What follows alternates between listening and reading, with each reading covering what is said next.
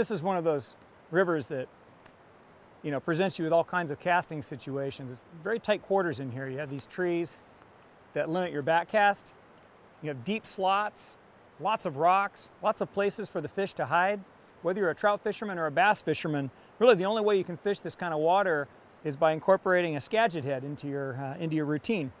And this head is a Max Short, Skagit Max Short by Rio. And it's 250 grains. I've put it on my six weight. I've put a 10 foot sink tip type 6 on there and I've tied on a pretty substantial leech pattern. I'm going to go out there and cast it and see how this outfit works. I'm imagining that it's actually going to jack that leech across this pool easily with a limited back cast. I'm going to try to limit the size of my D-loop and get the maximum distance on my forward cast with the least amount of effort.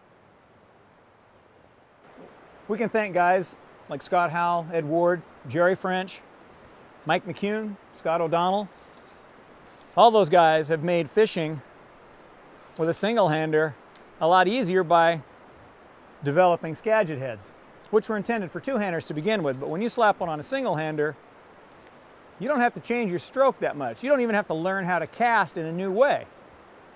You just make a roll cast, and I've jacked a three inch long bunny leech 35 feet across the river, and I'm fishing instantly. There's a lot of benefit to using a Skagit head on a single-handed rod. I mean, if I wanted to nymph fish with my Skagit head, I'd put a floating tip on there. Say I'm at the end of the swing there.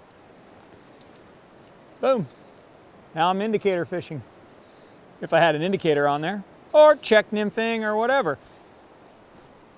You know, one other benefit to using a Skagit head in small river situations is that I can make a very accurate cast to the other side of the river, almost pinpoint, without having to have all that room behind me. If I have a 30 foot standard weight forward head and I'm going to make an over the shoulder cast, well, I need 30 feet behind me to make that cast.